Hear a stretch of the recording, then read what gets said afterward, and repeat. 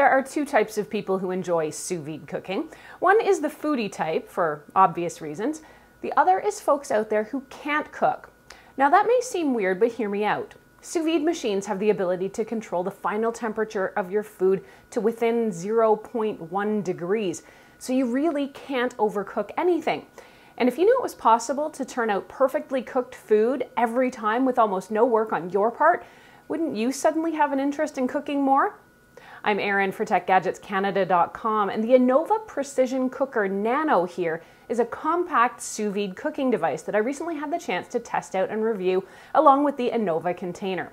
I'll tell you all about how it works and what kind of food you can make with it, as well as a little bit about sous vide cooking and what it is and why people like it. An early heads up that if you end up liking this video and finding it helpful, to please hit that like button and give me a sub, since it does help me keep making more videos that I hope everyone out there can watch, enjoy, and learn from.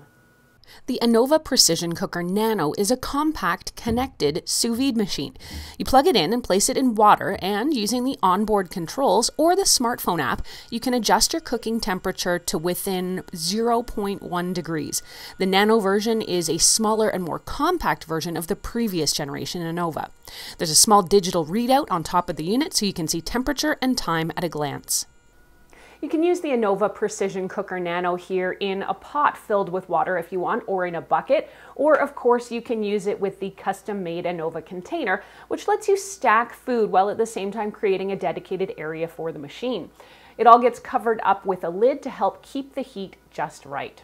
Now, what is sous vide cooking? Sous vide cooking is a technique that uses this hot water bath to cook food to a very precise temperature more accurate than steaming and not as bland or imprecise as boiling, sous vide is a whole different cooking method for food.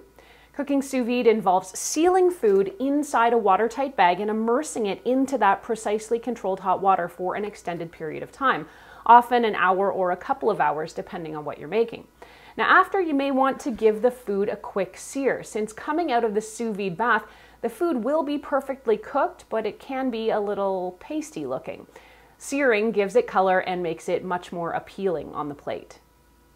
Cooking sous vide has numerous advantages. You can cook proteins and other food to within 0.1 degrees. Because you can preset the temperature and the sous vide cooker holds it exactly there, there is never any danger of overcooking your food.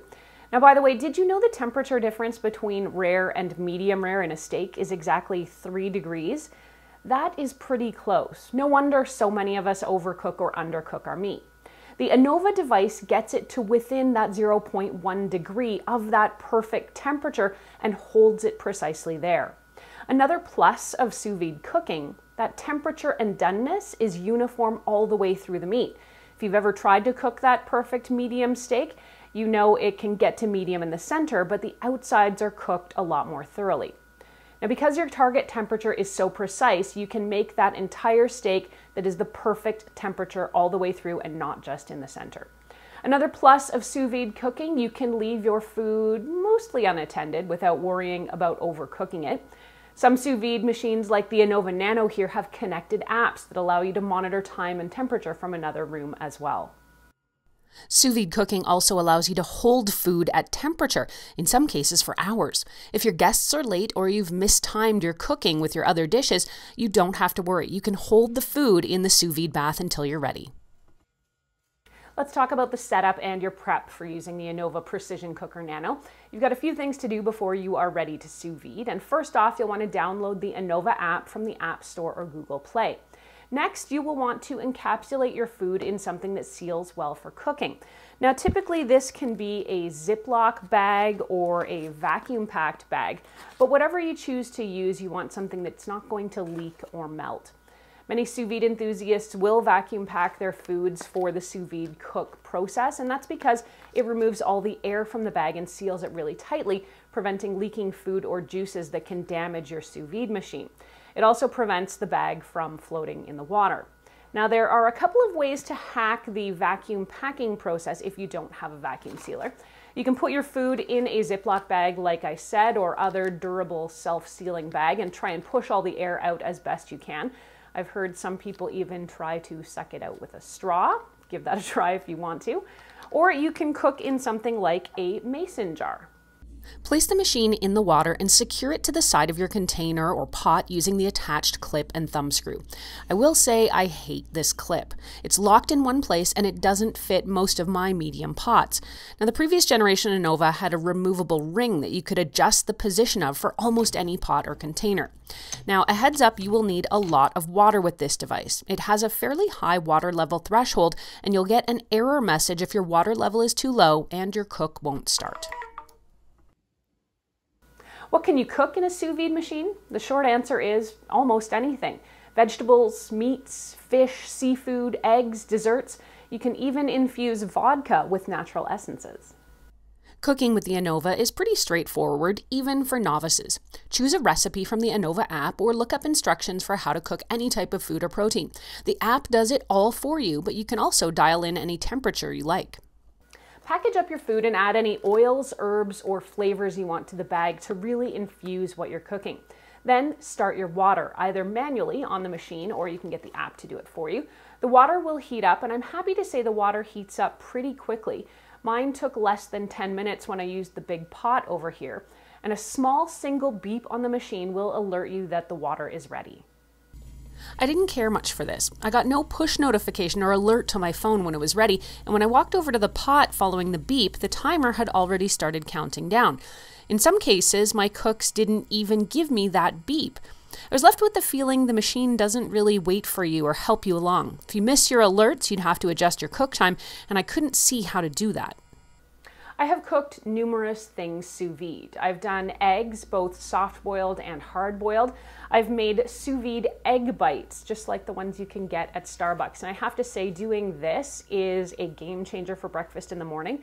I can make a week's worth of these bites and just pull one out in the morning, warm it back up to temperature in the hot water bath, and I've got breakfast either at home to go. When it came to the eggs, I tried cooking hard boiled, and this is how it came out. It's also important to note there's two sets of instructions in the app. There's the Anova guide version, which I used, and there's also a bunch of crowdsourced recipes. You will want to look carefully at the ratings on those before you try them.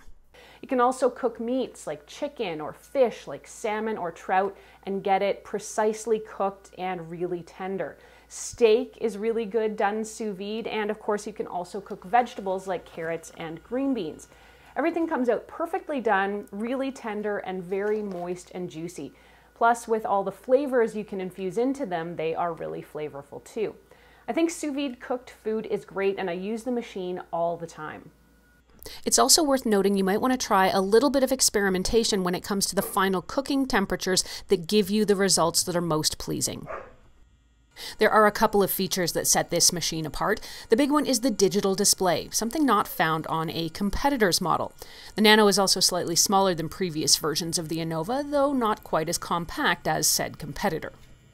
Overall, I've been pretty happy with the Anova Precision Nano Sous Vide machine.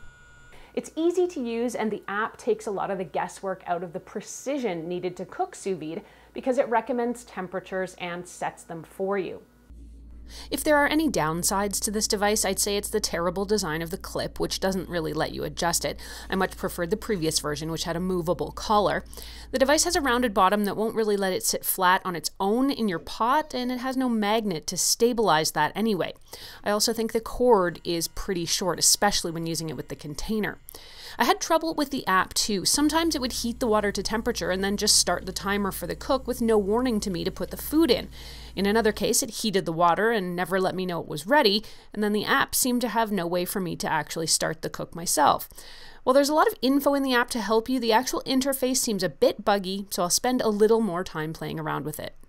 The Anova Precision Cooker Nano sells for about 119 Canadian dollars. And if you want to read more about it, head over to techgadgetscanada.com where I've posted a full blog. And you can ask me any questions you have about this device or the sous vide cooking process, either there on the blog or as always here on the YouTube channel. I'm Erin. Thanks so much for watching this video. You can catch me on Twitter and Instagram until the next time. I'm at ErinLYYC. You can also always find me at facebook.com slash techgadgetscanada. And a quick reminder that if you did like this video and found it helpful, to please hit that like button and give me a sub because it does help me keep making more videos that I hope everyone out there can watch, enjoy, and learn from.